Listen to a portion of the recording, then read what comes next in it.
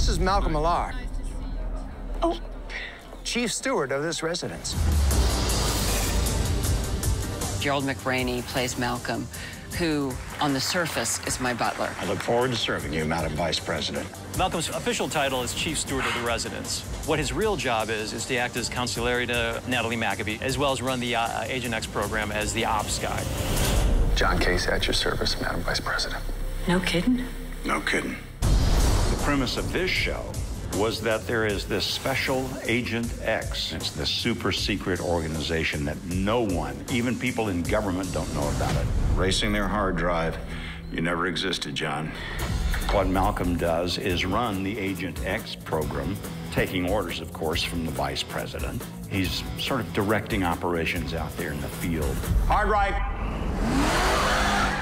Thanks, Malcolm. You want warning? Go slower. We all know Gerald McRaney from his years and years on film, and he brings that experience and skill set to our show and really is a great leader on set. Every day, the web of this conspiracy grows, and we still don't know who's at the center of it. Unfortunately, our players keep dying. Hey, Mac, are you looking just straight to the center of the boat? Yeah. Okay. I grew up watching Gerald McRaney on TV. And he's such a treasure trove of information and tricks, and I've learned a lot just being around him. You can't find a better mentor to have on set every day. There's a little bit of father-son going on, and I think that's evolved just between the two of us and playing the role. I followed the rules. No, you didn't. And the proof of that is in the other room.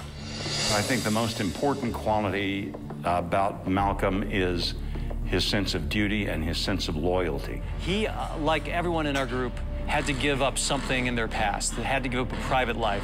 One of the big themes of our show is, is duty, honor, and sacrifice, and Malcolm embodies that. You are adding two plus two, but you're coming up with You're not five. to push it. And right now, you and I need to work together, or the president is going to be dead.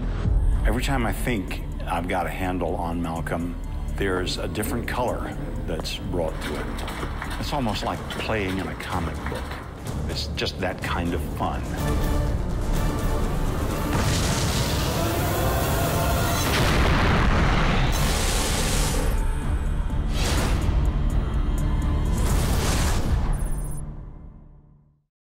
Tell me, John.